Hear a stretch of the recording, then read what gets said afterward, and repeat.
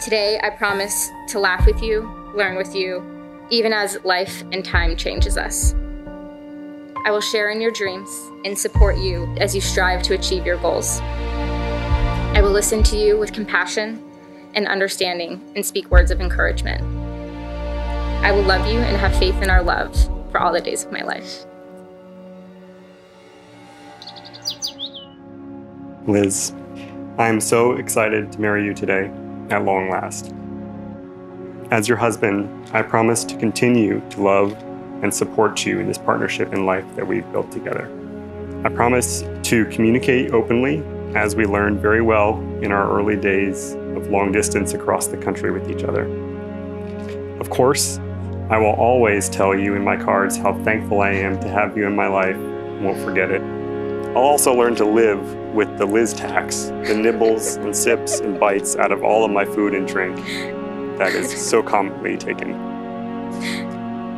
We made it through 2020 cooped up in that tiny apartment, living together, cooking together, learning, growing, and planning together. And we can make it through anything else that life throws our way. You are my best friend, my partner, and everything. I love you so much and will continue to do so faithfully and unconditionally for the rest of my life. Michael, I knew early in our relationship that I'd met my match. This was made clear to me when I shared my coveted Brunello from Italy with you on our second date.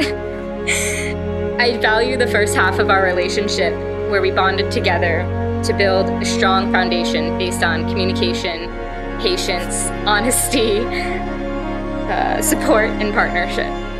Given the distance and time change, it often took effort on both of us to make this work efficiently, effectively, and well for four years.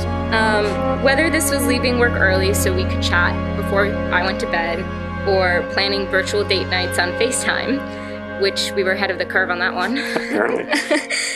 Our relationship has continued to evolve over the years. You are my best friend, which nine months of quarantining in our tiny apartment has made clear. I'm so happy that we get to spend each day together, continuing to grow, adventure, and navigate through all of life's challenges.